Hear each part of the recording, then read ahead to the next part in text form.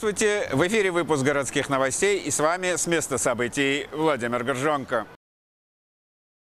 Обвиняемый в убийстве двух офицеров полиции Нью-Йорка был привлечен к уголовной ответственности в суде округа Квинс после того, как большое жюри подтвердило обвинение в покушении на убийство первой степени. Бернардо Раулю Кастро Мата, 19 лет, было предъявлено обвинение в том, что в начале июня он выстрелил в двух офицеров полиции, когда ехал на скутере против движения, об этом сообщила прокуратура.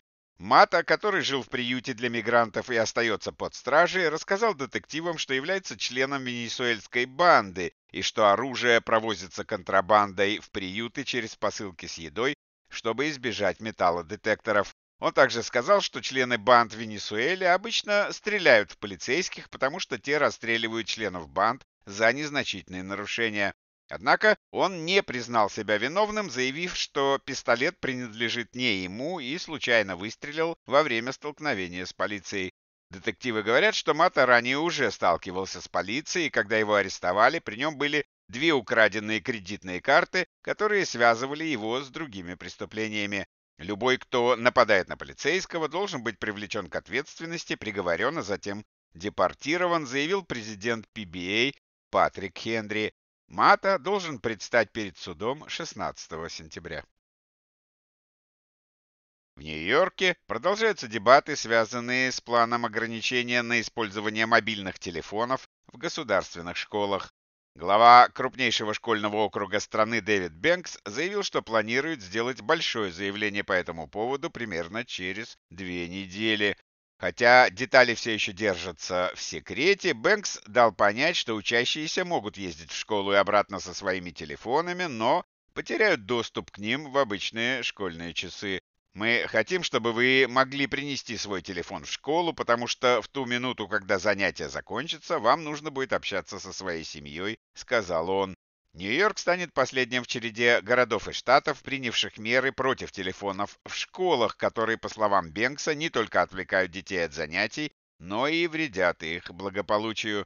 Напомню, что в Нью-Йорке не было общегородского запрета на пользование сотовыми телефонами в школах с тех пор, как бывший мэр Билл де Блазио отменил эту меру в начале 2015 года.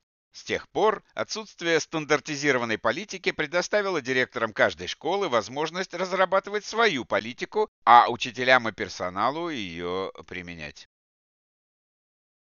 План ценообразования на пробки в Нью-Йорке был смоделирован по образцу платы за въезд в Лондоне. И вот что лондонские бизнесмены думают по этому поводу. С тех пор, как в 2003 году в Лондоне ввели плату за въезд, большинству автомобилей приходится платить раз в день за въезд в центр города. И плата теперь составляет до 15 фунтов или около 18 долларов. Это отпугивает многих людей, сказал один из владельцев ресторанов. Его мнение перекликается с мнением губернатора Кетти Хокул о приостановке действия плана ценообразования в Нью-Йорке. Исполнительный директор Ассоциации ночной индустрии, представляющий 10 тысяч предприятий в Соединенном Королевстве, уверен, что плата за пробки помешала восстановлению индустрии гостеприимства после пандемии. Но зато за 20 лет введения платы за пробки Лондон инвестировал 2,6 миллиарда фунтов или 3 миллиарда долларов доходов от платы за проезд в общественный транспорт, велосипедные дорожки и расширение тротуаров. Данные также показывают, что концентрация токсичного газа в воздухе Лондона за последнее десятилетие снизилась более чем на 65%.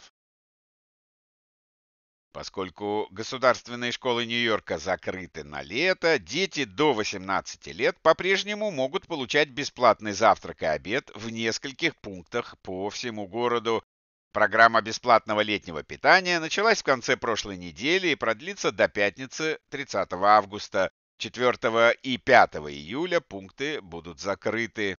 Детям можно будет позавтракать с 8 до 9.15 утра, а затем пообедать с 11 утра до часу 15 дня. Для того, чтобы получить бесплатное питание, не нужно регистрироваться или предъявлять удостоверение личности. Программа летнего питания доступна по всему городу в школах, общественных бассейнах, парках и библиотеках. В меню завтраков и обедов входят мясо и курица, молочные продукты, фрукты и овощи. Ожидается, что этим летом международный аэропорт Джона Кеннеди примет почти на 1 миллион пассажиров больше, чем в 2023 году, несмотря на то, что в аэропорту продолжается крупное строительство. А именно, аэропорт Джона Кеннеди находится в процессе беспрецедентной перестройки стоимостью 19 миллиардов долларов. Когда мы закончим строительство, это будет аэропорт мирового класса, сказала генеральный директор аэропорта JFK Тереза Рицута.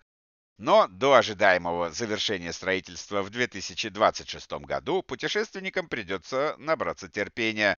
Пока же, пытаясь решить транспортную проблему, аэропорт открыл бесплатную зону ожидания для пассажиров на бульваре Леферц с бесплатным обслуживанием AirTrain, позволяющим добраться до терминалов. Путешественники, прибывающие в аэропорт Кеннеди и желающие нанять автомобиль в аэропорту, теперь будут встречать своего водителя на удаленной стоянке, куда можно добраться на бесплатном маршрутном автобусе. Автобусы будут отправляться с терминала 4 через каждые 1-2 минуты. Водители наемных автомобилей, доставляющие вылетающих пассажиров в аэропорт, будут высаживать их перед терминалом номер 4. Вы смотрели выпуск городских новостей, и с вами с места событий специально для телеканала RTN был Владимир Горжонков.